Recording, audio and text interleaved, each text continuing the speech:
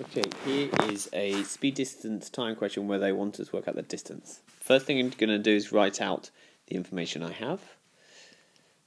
So D I don't know.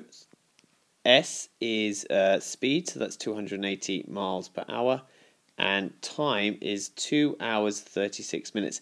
Now, I can't put 2 hours 36 minutes into a formula. I need to change that into decimal time. And how I do that is I take the hours and then add it to the number of minutes over 60, as there are 60 minutes in an hour.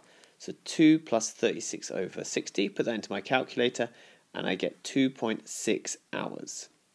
Now, to work out what sort of equation I have, I write out the um, speed, distance, time triangle.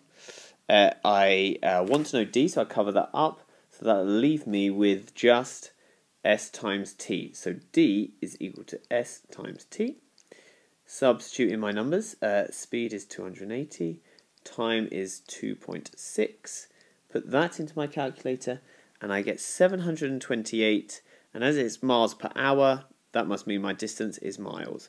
So 728 miles.